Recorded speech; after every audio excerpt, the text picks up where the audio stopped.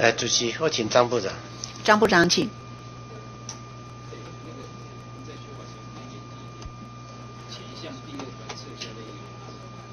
嗯，六号。哎，部长，公务人员会不会生病？公务员会不会什么？会不会生病呢？当然会生病啊。对呀、对，那公务员生病可不可以请假？可以请假。请假请假的时候用什么证明？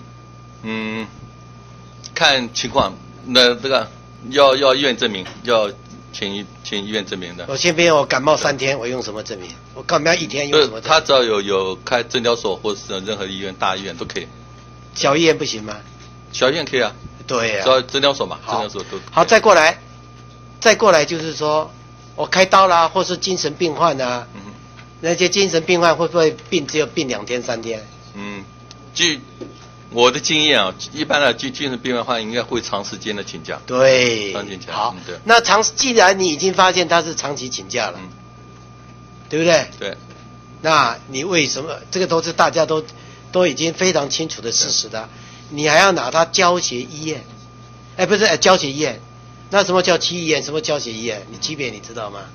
不是我我们基本上就是说，他是列列明进教学医院一一般来讲，一般的医院他开具的有关各种的呃证明，我们一般来讲是比较，我们认为它品质可能是不够，所以我们一定要正式的有关教育医院，教育医院一定是规模非常大，而且有有口碑的，我不长，对。我觉得没有一个人愿意在公务员的考起辛辛苦苦工作的以后，啊，去得到这个精神病患的、对也没有人愿意说啊，我就得到精神病疾，自己就赶快去拿一个证明来对来。对，所以刚刚的陈洁如委员讲的非常正确啊，对不对？你不要排斥他就，他已经生病很久了，已经没有办法上班了，他自己自动就会去办理退休啊，家属就会办理办理退休嘛。不要你去拿这个拿这些证明他对这好，你要他拿这些教学医院，你知不你有没有到过教学医院去？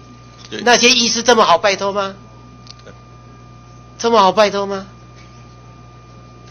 那些医师啊，就长庚医院就是教学医院的、对你知道吗？蜀立医院是不是教学医院？不是啦，是区域医院的。对，区医院你看看，对不对？连陈水扁这都患了一点点小毛病，他都不敢看的。你到长庚医院，像我爸爸妈妈在那里开刀，对不对？拜托他出一个证明，要申请外劳，你知道他他怎么讲？明明是开刀哦，明明是那个重病哦，他就是不开啊。所以你写这个东西啊，我跟你讲，平常心讲，是不知人间烟火，不食人间烟火。所以我是跟你讲，就是说，公务人员因为工作忙碌得到这些精神病患或是什么，你应该同情他，让他继续继续领薪水，因为那些人都很可怜的，家属也很可怜的，到实在是没有办法，他自己自动就会请辞的，你知道吗？所以你还要加那，所以我支持陈洁如版本，就把那条删掉，对你没有影响嘛。你们为什么为什么要一定要还要更严格要教学医院呢？我我觉得并不是更严格，实际上我们是放宽了。哦你错了。实际上只要有精神，以前假如有你今天去，你今天有有一天呢、你去去叫啊，譬如譬如你你家里人或是你自己去要申请外劳，你去看看。你去你去台大医院，你去长庚医院，绝对保百分之百不会帮你开，对。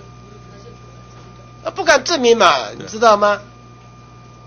啊，你看连连连那个陈水扁的事情，蜀立桃园医院也不敢开啊，所以这一点哈，我这赞成，这是第一个。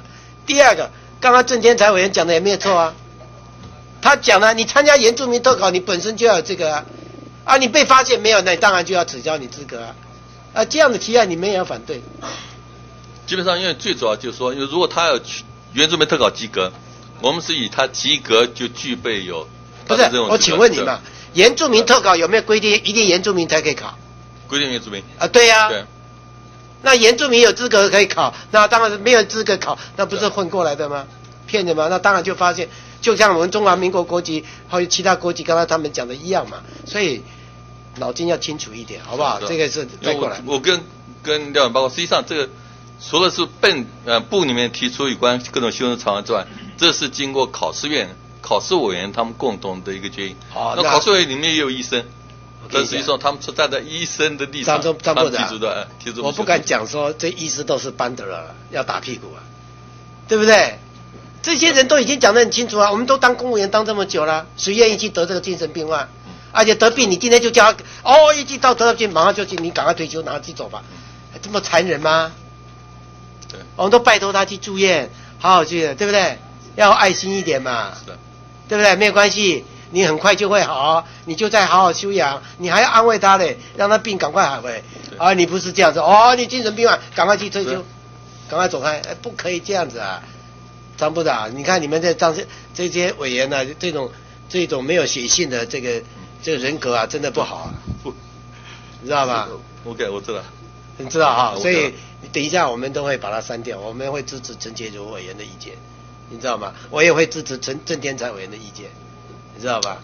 你要像我嘛，我以前当局长的时候，对不对？我我办公室常常骂我讲的，哎，我的同仁只要只要怀孕回家休息，保证你考绩家的，让他高枕无忧，好好把小孩生下来，一辈子感谢你啊！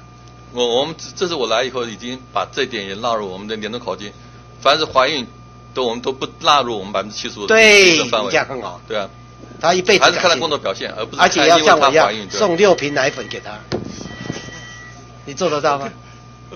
对，这样他他他会大家感激你嘛。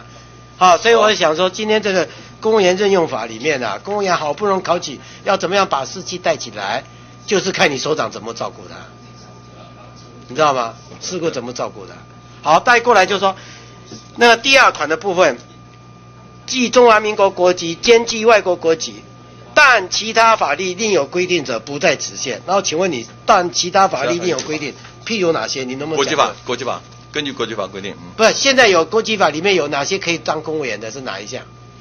国际研究研究人员，研究像中央研究院，中央研究院它像中央研究院，还医师，医师像他们并没有强制的规定的，哦教师，教师，教授，教授也可以研。研研究人和教授，嗯哦，学者这样。好，那所以等一下求治委员提出来的，你们就要慎重哦。如果说像犯了第二款的，那可能像刚才说研究员啊，或是教师啊，这个可能到时候不要变成也卷到这里面去就麻烦了。是的，好不好？所以我要提醒你要注意一下。哦是的所以我想说，那个那个，你部部长是管这个全系公务人员的，这个事情不能被你击垮，不要像行政院最近的公务人员的慰劳金一样，把把所有的公务员的事情都击垮了。啊，我很担心，你如果不照陈洁如委员的意见，公务员就被你击垮了，你知道吗？不 会不会。会啊，刚才你讲说连考试委员都这样，哇，我听了以后真的是怎么都是请了一些没有写信的委员。这个案子还好我们立法员就跟考试委员不一样，对不对？对我们比较温暖，比较有写信的。等我跟廖文，实际上这个案子实际上在考试院他们审查这里非常慎重，也开了三次的审查会才做出这么哎呀，你看我一听陈杰如委员一讲，我就听得懂，你们怎么听不懂呢？是不是？是不是？就是你的血不一样，跟我们的血不一样嘛。我们是真正体谅选民嘛，你们不是，你是高高在上，所以那个血就不流的就不一样嘛，绝对不会，我们流的血是一样，对不对？不一样嘛。我们流的血是有温暖的血，你那血是那个没有血性的、没有人性的一个血，不不不知道吧？，这这这点好不好？所以我希望部长要能够接受我们委员的意见。你看刚刚才陈杰如委员所讲的，说上一届他唯一遗憾没有通过的法律，陈委员你放心，我们支持你，好不好？这次让你过关。